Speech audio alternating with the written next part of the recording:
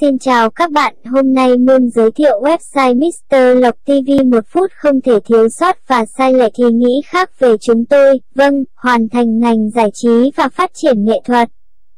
Nâng cấp hoạt động tạp chí Art Movie Music Design Store Game các thể loại tiêu chí mang sâu sắc chiêm ngưỡng câu chuyện hành trình của Mr. Lộc TV chúng tôi vì mục đích tốt đẹp chia sẻ và người ủng hộ với các thương hiệu đồng hành cùng Mr. Lộc TV sẽ cùng phát triển lâu dài suốt hành trình của chúng tôi với nghệ thuật. Xin cảm ơn bạn đã quan tâm, xin chào và hẹn gặp lại.